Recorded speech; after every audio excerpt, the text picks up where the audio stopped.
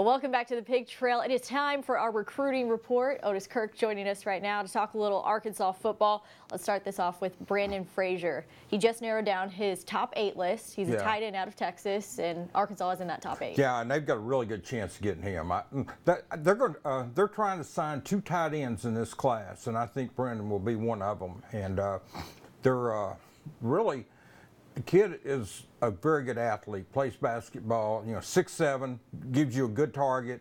Someone for the quarterbacks to throw to, and uh, he would be an excellent get for Barry Lunney and the offense over there. And uh, I think Arkansas is in good shape there. They're wanting to sign a couple of tight ends, and like I said, I think he'll be one of them.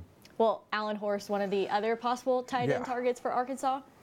He was here uh, March the 9th as well. Uh, once again from Texas and uh, big target. Also, you know, very good basketball player. Guy that uh, these are guys that are big targets. I think Horace is a guy that Arkansas is in his top three, and uh, there again, it wouldn't surprise me. Elijah El- Yelverton is in that from Bishop Dallas Bishop Dunne, but I really think if Arkansas signs two tight ends, it could very well be for Brendan and uh, Allen. I think those could be the two tight ends in this class, and that would be if they can pull that off. That would be a great get. That wouldn't be good. That would be great.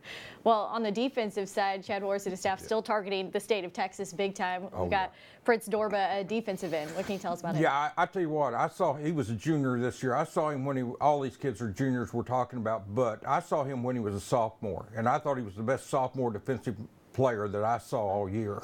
He was that good. He plays for Highland Park.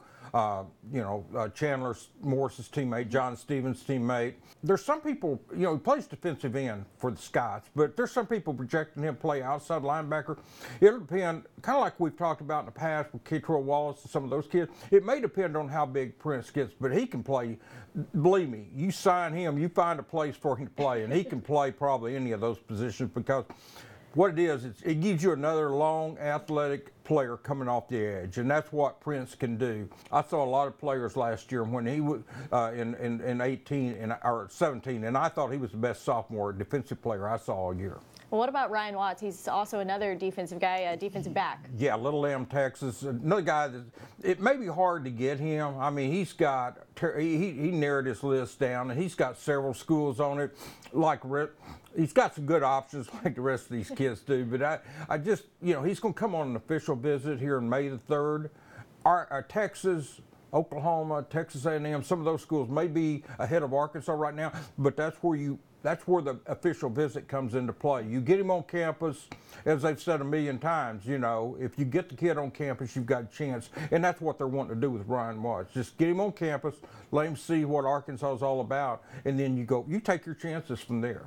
Well, Myles Slusher, a, a defensive back out of Oklahoma, he seems to have a, a lot of offers. Yeah, and he's been here several times, and he's from Broken Arrow, and uh, he's a four-star. And for some reason, Oklahoma hasn't offered him, and I don't understand that because he's got Alabama, Arkansas, Oklahoma State. He narrowed his list down. The kid's a big-time player, and uh, there may not be a better defensive player in the state of Oklahoma this year. And so I love the kid. He's been here several times. Uh, I, I I think Arkansas's chances of getting him maybe not what they were a few months ago for whatever reason. Oklahoma State's making a lot of ground there. Texas A&M, Oklahoma, uh, you know, uh, uh, Alabama I mentioned, but Arkansas is certainly in the mix.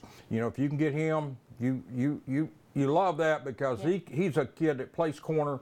And could even move down to safety if you need him to. So Mark Smith, Barry Lunney, or Jr. on him, and uh, they'll continue to be on him. Well, Otis, thank you so much for your time today. We really appreciate it. Okay, thank you. We'll be back with more on the Pig Trail right after the break.